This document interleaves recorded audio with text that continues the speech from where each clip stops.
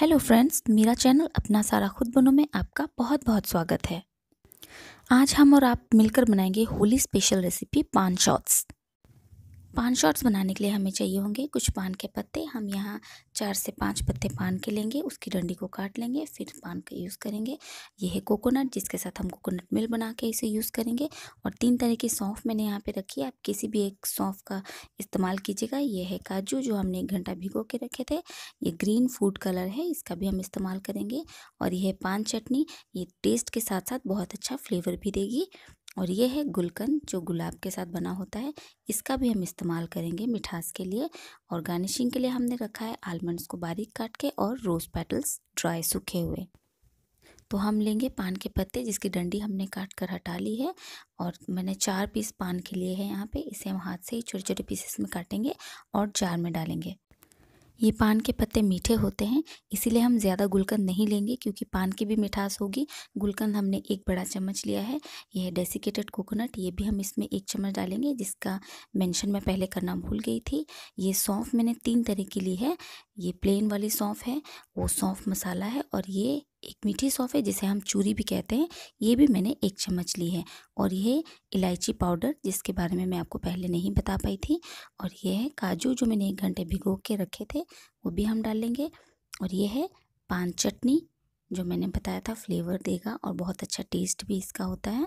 तो ये भी हम आधा चम्मच इसमें डाल लेंगे। और साथ ही हम इसमें डालेंगे ग्रीन कलर ये बिल्कुल ऑप्शनल है, आप चाहो तो इसे स्किप कर सकते हो, पर इसके साथ बहुत ही अच्छा कलर आता है। यहाँ मैंने तीन सौंफ दिखाई है, पर आप किसी भी एक सौंफ का इस्तेमाल कर सकते हैं। और कोकोनट मिल्क बनाने का तरीका मैं आपको बता दूँगी डिस्क्रिप्शन बॉक्स में आप जाकर वो लिंक देख सकते हैं। अब हम इनको एक साथ पीस लेंगे और इसका एक पेस्ट बना लेंगे। या तो आप इसे होली वाले सेम डे आप सुबह सुबह बना लीजिएगा और अगर आपने इसको तीन चार दिन पहले बनाया है तो भी कोई प्रॉब्लम नहीं है।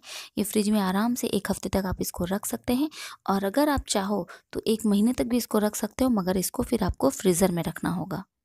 मैं थोड़ा सा कोकोनट मिल्क डाल के पीस के इसको रखा, क्योंकि हमने इसको अभी नहीं बनाना था। जब आप इसको पीना चाहो या किसी को सर्व करना चाहो, उसी वक्त इसमें आप कोकोनट मिल्क और डाल के इसको बढ़ा लीजिएगा, इसको पतला कर लीजिएगा। अगर आप कोकोनट मिल्क नहीं ऐड करना चाहते हो तो आप कोई भी मिल्क इसमें ऐड कर सकते हो। इसकी बजाय आप इसमें काउज मिल्क या पैकेट वाला जो दूध आता है, वो भी ऐड कर सकते हो। और तैयार है आपका पान शॉट्स अब हम इसको गार्निश कर लेते हैं। ये हमने इसमें आलमंड्स बारीक काट के रखे थे, वो डाल रहे हैं। और ये रोज़ की पत्तियाँ रोज़ पेटल्स हमने सुखा के रखे थे, वो हम इसमें डाल रहे हैं। इसके साथ बहुत खूबसूरत लगता है ये देखने में।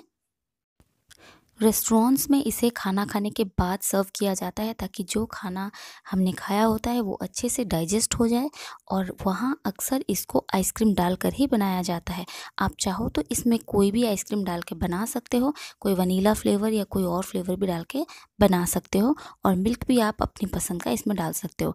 हमने इसका हेल्दी वर्जन बनाना था, इसलिए हमने कोकोनट मिल्क ऐड किया है और इसमें मिठास डालने की आपको अलग से ज़रूरत नहीं है, लेकिन आप फिर भी अगर इसमें डालना चाहो तो हनी ऐड कीजिएगा। शुगर ऐड ना करें।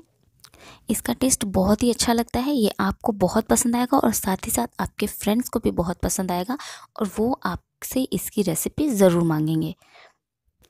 तो आप सर्व कीजिए पान शॉट्स को बिल्कुल अपने स्टाइल से, क्योंकि आपके फ्रेंड्स को आप बेहतर जानते हो। पान के पत्तों के बहुत सारे फ़ायदे होते हैं।